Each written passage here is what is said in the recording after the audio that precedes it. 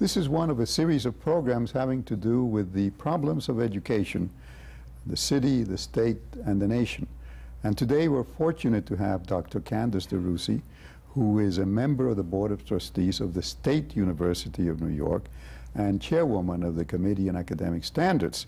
Uh, Dr. De Russy is a former professor of uh, language and literature, but she is a leading reformer in the uh, area of education. And uh, she has been uh, especially involved just recently in getting the state university to approve uh, a core curriculum.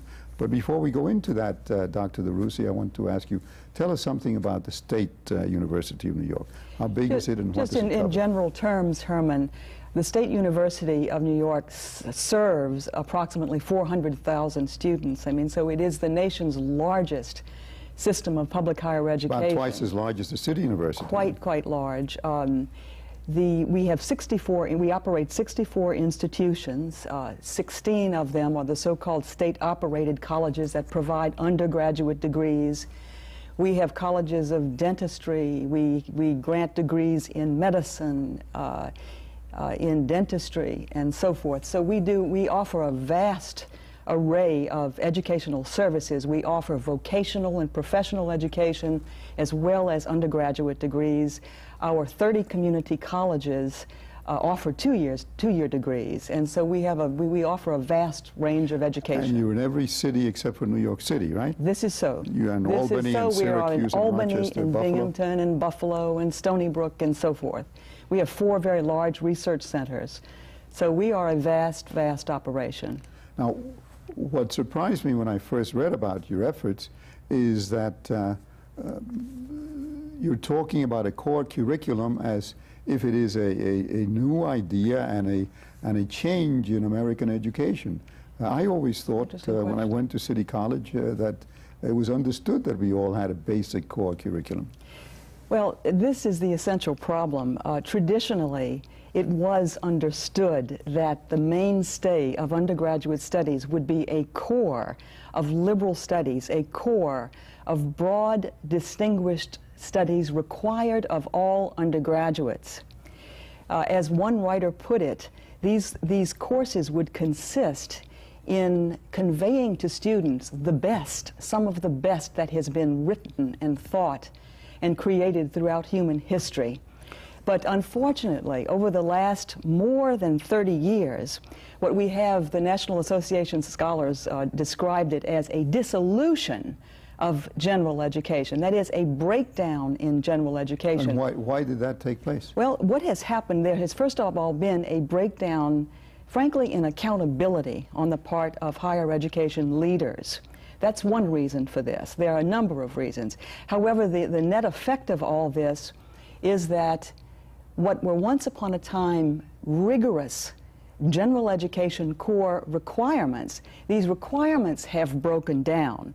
At the nation's most prestigious universities and colleges, for example, students can now graduate very, very often without having had a single course in history, in literature, in mathematics. So the course requirements have indeed broken down. But the second point, Herman, that is of very great importance is that the actual courses have proliferated, the courses that are allowed to satisfy what, what the kind general. Of, what kind of courses have been substituted for the uh, basic courses? Well, a plethora of all kinds of studies. There's been division upon division of so-called multicultural courses. But I'll give you some examples. Actually, some of the examples are quite laughable. And these are examples taken from around the country. Right, I mean, sure. such things as Elvis as anthology, or uh, the literature of sports, or uh, let us take a sociology of Star Trek. Uh, here's another one. Well, I'm a fi- fan of Star Trek, but not, in- not in college. Not, not, not as a course that satisfies core curriculum.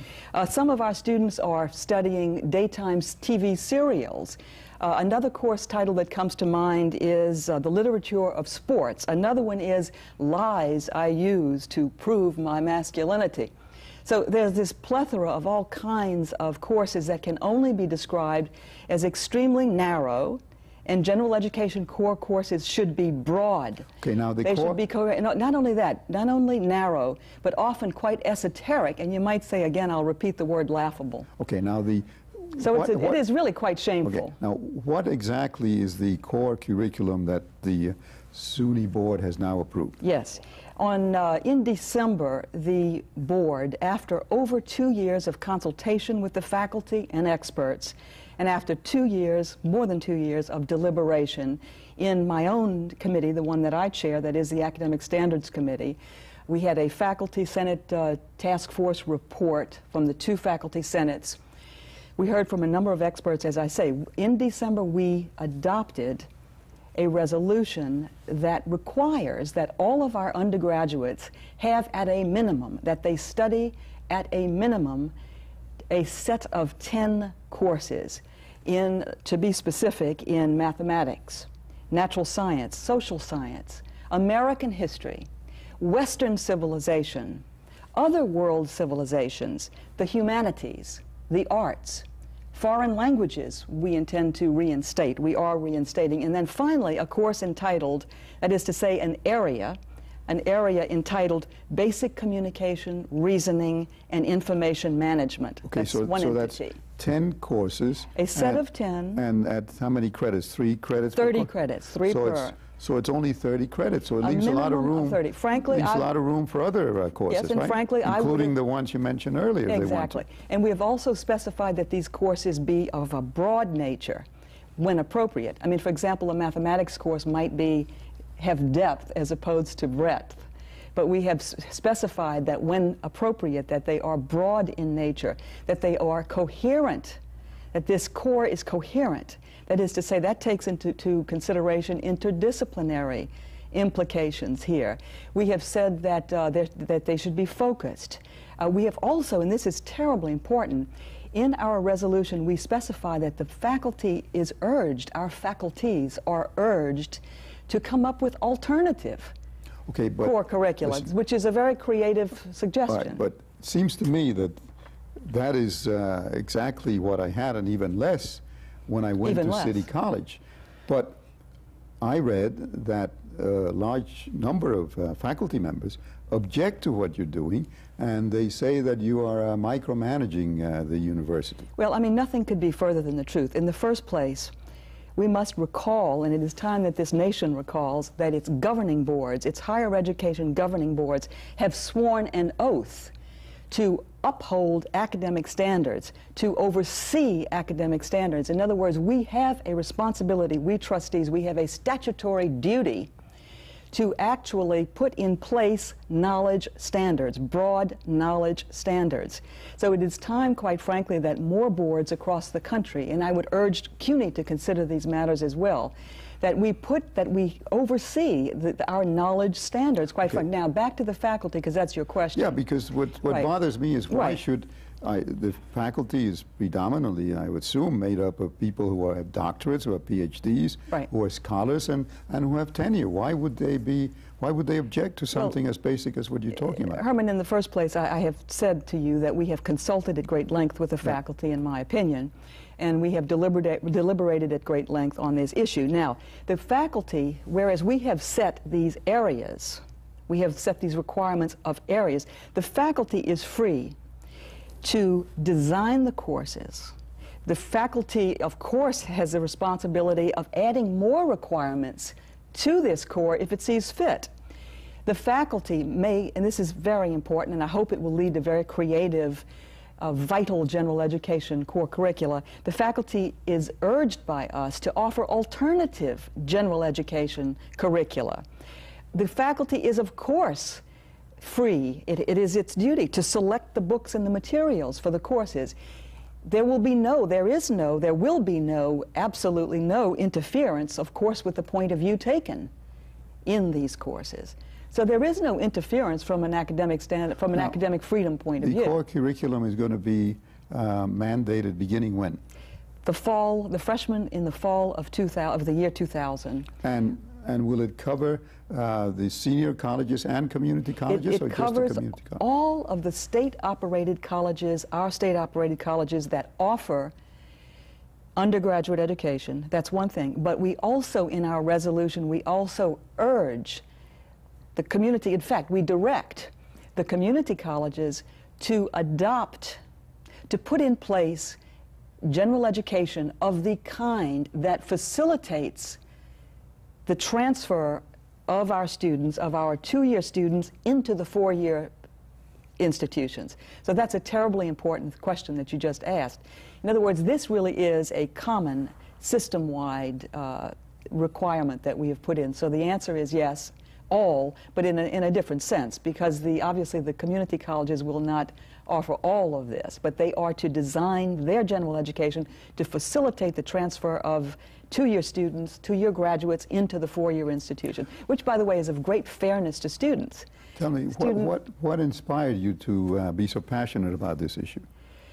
Well, I think that um, a number of things. I, I am concerned, if you will, um, about what I perceive to be a, and what many, what many studies show, to be a growing ignorance in this country. I mean, really across the board in many respects, but in this respect, with respect to undergraduates, our undergraduates are relatively ignorant, you know, by the standards of, of their forebears. Did, did you feel that that applied to you when you uh, went to I think that this problem exists. This problem has been increasing in gravity over the last 30 years. This is a problem that has developed over the last 30, more than 30 years. Where did but, you get your education? Well, I was, I was educated at St. Mary's Dominican College in New Orleans, Louisiana.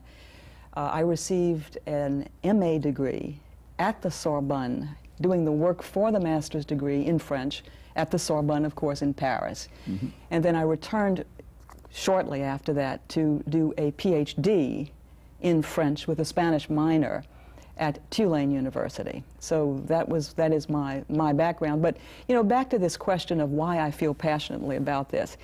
Um, I am deeply concerned for today's students, and in particular, our disadvantaged students. What what they what they do not receive, what they do not get if we do not provide them with strong general education is number one, they are less able to fulfill themselves in their personal lives without this strong knowledge base.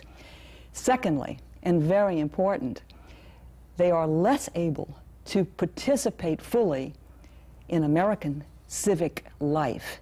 And I recall and I share the view of the journalist Walt Lippmann, who over 50 years ago, he said, that we are sending young men and young women into the world from our colleges and universities bereft of the creative principle of their own civilization.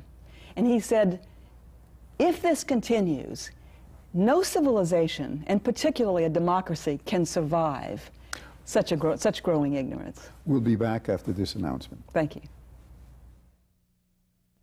I'm Judd Hirsch. I graduated City College in 1960. Yes, I'm an actor and I've played many major roles in my life.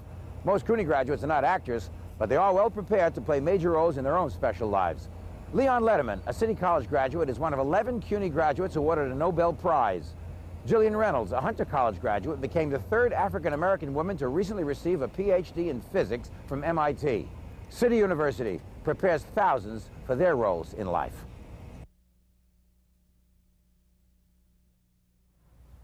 We're talking today with Dr. Candace De Russy, who is a member of the Board of Trustees of the State University of New York, uh, about the uh, establishment of the core curriculum, which her committee, which she chairs, Academic Standards uh, Committee, approved uh, last December.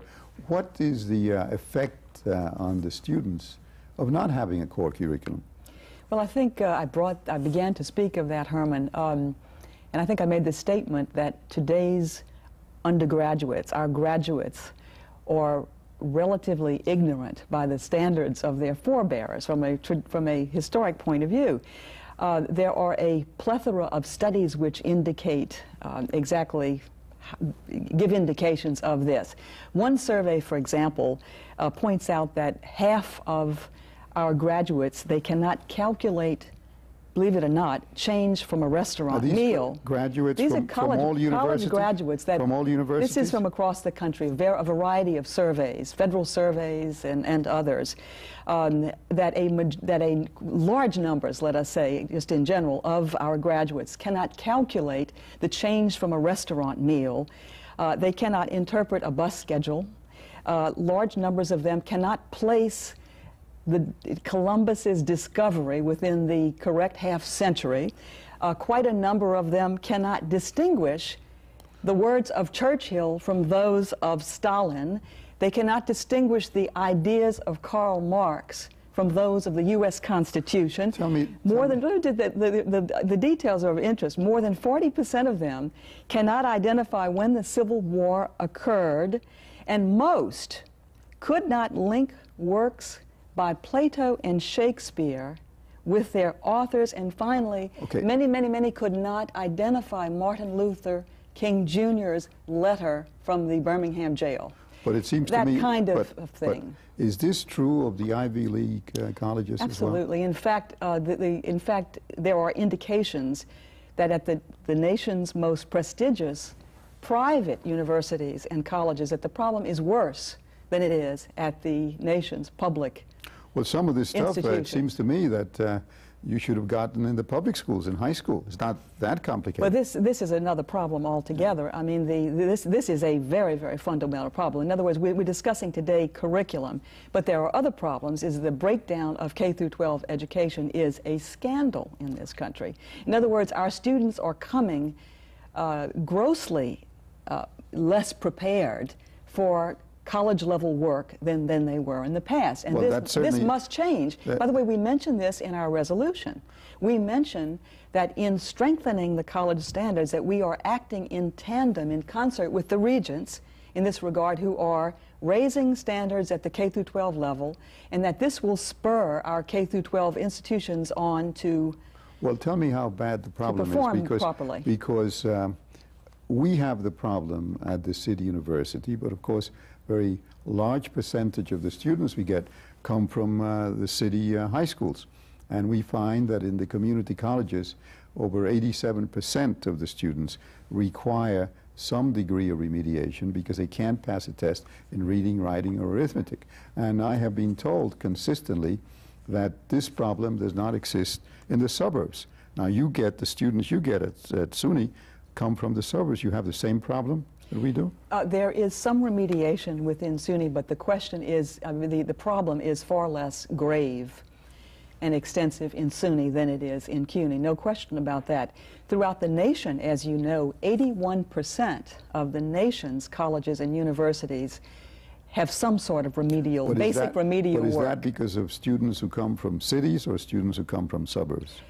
uh, I think the problem is worse, uh, probably from those students who come from inner city uh, environments. I think the problem is worse in that regard, but I don't have a study to indicate that. I just know that our colleges and universities throughout the country, 81% of them are remediating the students who come in, um, and that, that obviously the answer to this is for the higher education leaders in our colleges and universities to throw back, to hurl back this task where it belongs, to place it where it belongs, that is at the K through 12 level, and demand performance from the K through 12 schools. So that goes back to the elimination of social promotion, no? Absolutely. Which we have, which we have in New Abs- York City. Absolutely. Uh, the, uh, even at the federal level, that is being uh, offered at this point, that notion. But we, we should stop social promotion. There's no doubt about that. That's a disgrace. And that ill serves the students, and in particular, disadvantaged students. And, and by the way, just back to general education for one second, uh, there are studies to indicate that a strong background in general education is parti- of particular urgent need. It is particularly urgently needed by disadvantaged students who must make their way in the workplace and so forth. So, wouldn't, it, wouldn't it be a good idea to have something like the core curriculum in the uh, high school levels uh, too? oh, absolutely. and in the better, in the, in the best high schools in this country, there is a, a uh, there are requirements that really are compatible with. I mean, they are they they, they do the same thing. They are- they are requirements in basic subjects. So there is sort of a core in the, be- in the better Because if the students start off with that background, then it would be easier for them to uh, appreciate the core curriculum at the uh, university and, level. And, and by the way, Herman, to pursue a higher level of general education at the university level. And, and, and that is one of the reasons we speak of the need or the desirability of creating alternative core curricula. We have also spoken in our academic standards committee and so forth, and our board is aware of this, we would like to see honors programs. In other words, a level of high level general education core, uh, core curricula choices for students who, for example, have already had foreign languages or who have a strong background. In other words, instead of waiving them out of these studies, what I would like to see are honors programs that are available for these students who have a very strong general education background coming in. Well, the governor and the state legislature must have a high opinion of the state university because recently you were given an additional responsibility, and that is the responsibility for establishing 50 charter schools throughout the state. That's this exactly right. legislature and the governor approved 100 charter schools. The Board of Regents has jurisdiction over 50. The state university has jurisdiction over 50. Uh, exactly. What plans uh, are being made by the state university? Well, as a ma- matter of fact, that uh, odd that you should speak about that, but at this uh, most recent academic standards committee of ours, we had a presentation by Scott Steffey, who is the newly appointed president of the Charter Schools Institute of the State University of New York, which will set policy and uh, direct us in how we um, allow, which, which schools are allowed to apply. They will have general jurisdiction over the application. We have this jurisdiction, but this questions of how to go about this will be studied by the institute, the Charter Institute of the State University of New York. We will, in other words, be able to grant licenses, grant charters, that is, operating licenses, to the various schools that uh, entities that apply to us to become charter schools, which are, as you know uh, quite well, Herman, they will be schools which, which operate, which answer to the state in terms of standards. But they'll be answering to Well, uh, they, they'll be accountable. They'll be accountable uh, to the regions.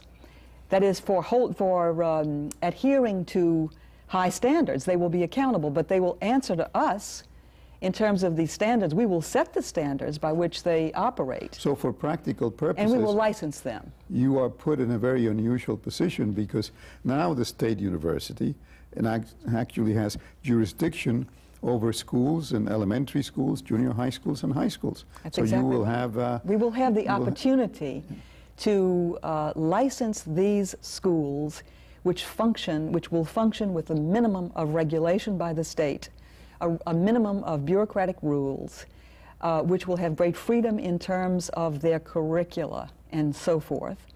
Uh, and we will, we will have control over these standards. And this is a, a, a very grave responsibility, but it's one we welcome. The Board of Trustees welcomes with uh, great eagerness. So maybe you could see to it that uh, some of the standards that you're talking about for the university level could be incorporated beginning in the early grades. That, that is our intention. That is fully our intention. And now, if somebody who's watching wants to uh, establish a charter schools, what, what should they do? Well, I think the first step is to be in touch with the State University of New York and with Scott Steffey, uh, who is now the president of the institute, and he will have he it will be the manager, uh, if you will, the chief executive officer, if you will, of this effort.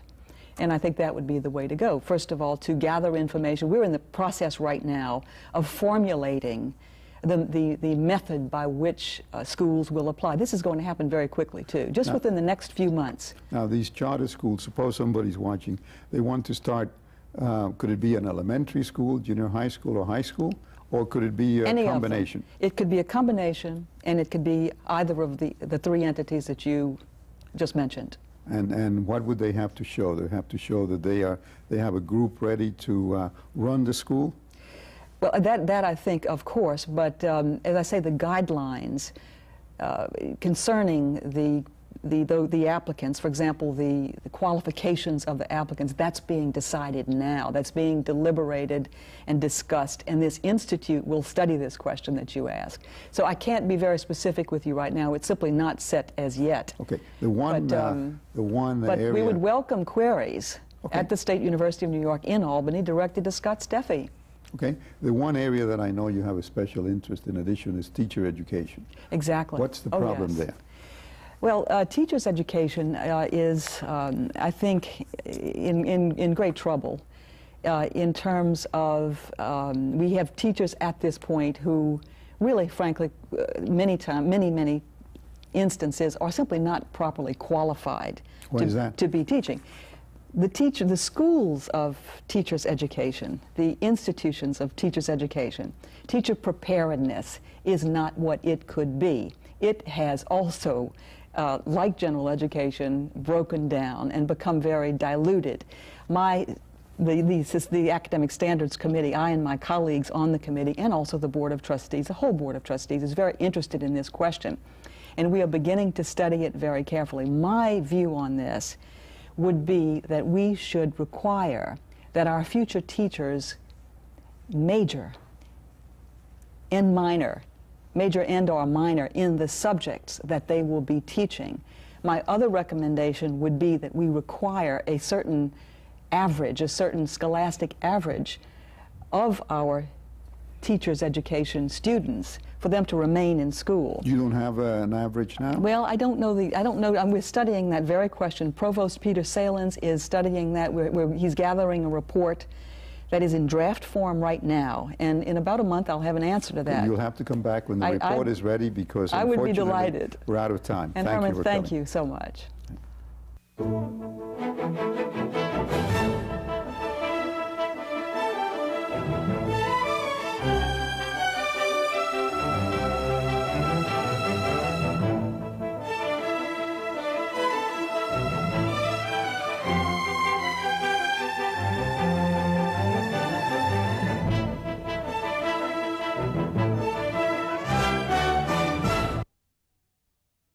You can reach us by email at our website, www.cunytv.cuny.edu, to let us know what you think, or write to us at CUNY TV, 25 West 43rd Street, Suite 1220, New York, New York, 10036.